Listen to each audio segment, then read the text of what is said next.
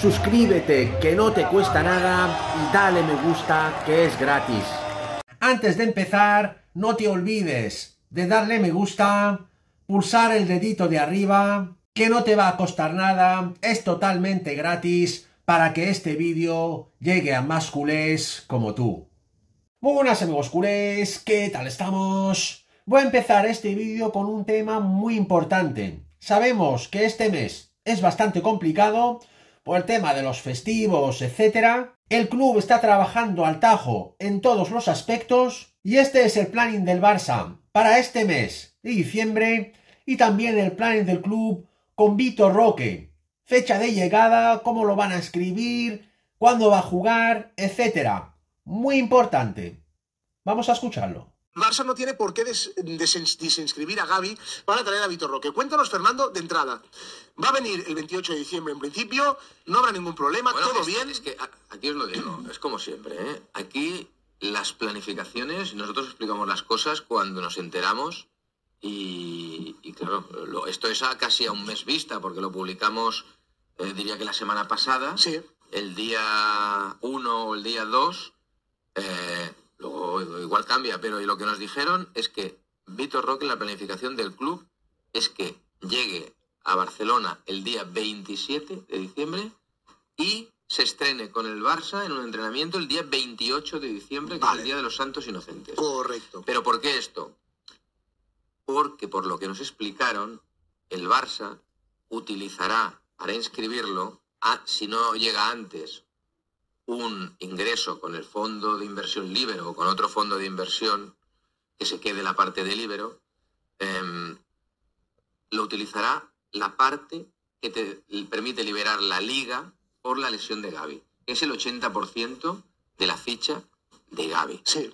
Entonces, con ese 80% de la ficha de Gaby, tú tienes que inscribir a Víctor Roque hasta el mes de junio. Luego tendrás que volver a inscribirlo, porque ahora tienes este fair play, pero el año que viene tendrás que generar más fair play para, para toda la temporada. Aquí solo para media temporada, ¿eh? Porque Sí. esta media temporada implica la mitad de la ficha de esta temporada y la parte proporcional de amortización de lo que cuesta el fichaje. Vale, solo medio año, ¿vale? ¿Qué pasa? Em, eh, en el caso de Vitor Roque, el Barça va tan ajustado, tan ajustado, que en el momento que él se ponga a trabajar a las órdenes del Barça, como en toda empresa, el Barça debe inscribirlo en la seguridad social, Vale. como todo trabajador que trabaja por cuenta ajena. En el momento que tú lo inscribes a la seguridad social, ya te empieza a contabilizar a nivel de amortización y a nivel de fair play de la liga. Vale. Con lo cual, cuanto más lo retrases dentro del mes de diciembre, mejor para el Barça porque menos dinero le computa. Y como va estar apretadito, tienes que tardar en inscribirlo. Vale. ¿Vale? En darlo de alta en la seguridad social. La inscripción solo será a partir del 1 de enero. De enero, que es correcto. cuando abre la ventana De de, fichaje. de fichajes del mercado de invierno. Pero lo que es darlo de alta en la seguridad social, tú lo puedes dar de alta cuando quieras. Exacto. De hecho, él ya ha acabado. Él ya ha acabado. Entonces, como ha acabado con su club, Con su club Atlético Paranaense. venir, pero la verdad es que podría venir, pero no, eh, el Barça no tiene previsto que venga todavía. Perfecto, perfecto. Pues bien explicado lo de Vitor Roque porque al final es un, un lío. Lo más importante ver, es que a- podrá jugar seguro. Por eso te ¿eh? digo que es la planificación. ¿Por qué? Porque si ahora hay un ingreso, Sí. llega un ingreso del Libero, Que por fin tiene que llegar ya, una ¿eh? pasta de este fondo o otro fondo y ganas fair play, si lo ganas, a lo mejor si hacen las cuentas y dicen, oye, ya no vamos tan apretados, Víctor, si quieres, vente ya. Si quieres, vente ya porque a lo mejor con lo que hemos ganado de fair play, ahora sí que te puedes venir Claro. y tal como llegues te inscribimos en la seguridad social y aunque no, y aunque no puedas jugar, sí que puedes entrenar.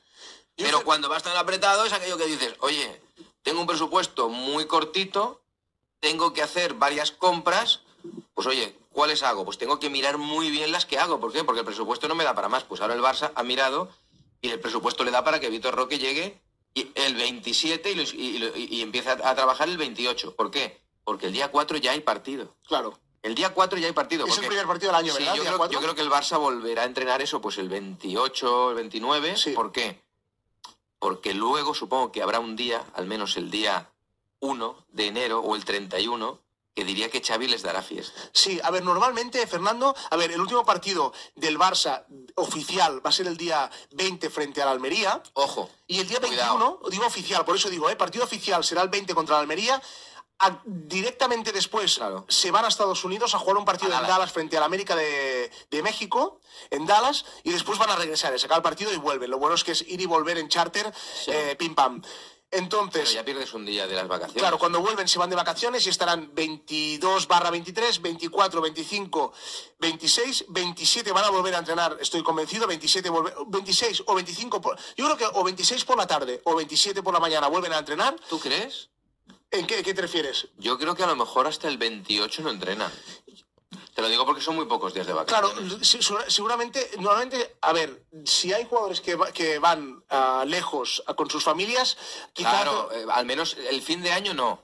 Difícil, porque el 4 tienes partido Sí. y además es en Las Palmas. Ya, ya, ya, O ya. sea, tienes que irte el día antes. Es el primer partido del año, no hay, Claro. no hay ningún otro partido No, antes, no, ¿eh? no. O sea, del, el día 21 el partido contra el América de, de México Y el el cuatro. 4 Pues bien, como hemos escuchado, el Barça no quiere traer a Víctor Roque ya mismo para no utilizar el 80% de la ficha de Gaby, porque está a punto de cerrar esos 20% de Barça Studios que quedan con una sociedad que dicen que puede ser de Arabia Saudí y está dispuesta a pagar, ojo, alrededor de 50 millones de euros. Pero ojo, esto no es todo. Ahora viene el verdadero bombazo.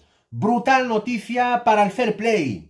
El Barça ya tiene preparadas cinco salidas para el próximo mes de enero y un fichajazo estrella. Esas cinco salidas o ventas son las siguientes. Miranda, jugador del Betis, que va a fichar por el Milán, como sabemos, el Barça todavía tiene derechos sobre el jugador del Betis, el lateral izquierdo, y va a llevar pues el 20% de esa venta que va a hacer el Betis de Miranda al Milán.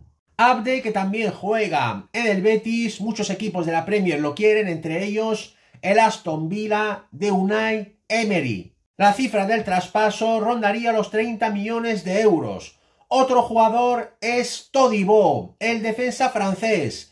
El Manchester United están dispuestos a pagar por él en enero unos 60 millones de euros y aquí el Barça se lleva también el 20% de esos 60 millones. Otro defensa francés, Lenglet, el Bayern lo quiere para enero, están dispuestos a pagar de 15 a 20 millones por él. Y ahora sí que viene verdadero bombazo en ventas. Robert Lewandowski. El club está abierto a escuchar ofertas. El jugador alemán también lo mismo. Arabia Saudí va a ofrecer un pastizal por Lewandowski en enero. Se está hablando de una cifra que rondaría los 60 o 80 millones de euros por el delantero polaco. Y el otro bombazo en ventas es Farran Torres. El mismo caso, el club está dispuesto a escuchar ofertas por el delantero valenciano y muchos equipos de la Premier League quieren ficharlo en el próximo mercado invernal. Y con estas ventas, naturalmente, el Barça va a mejorar de manera brutal el tema del fair play y va a ir a por estos dos cracks. El mediapunta argentino, Lo Celso, que el otro día ha jugado un partidazo contra el Manchester City, con golazo incluido. Como sabemos, Xavi lo tiene entre ceja y ceja, y el otro crack es nada más y nada menos que el mejor volante del mundo, en mi opinión, el todavía jugador del Bayern Joshua Kimmich. Y con estas brutales operaciones con las que el club ya trabaja, vamos a ser serios candidatos a ganar la Champions League. Esta ha sido mi grandísima noticia de hoy, amigos culés.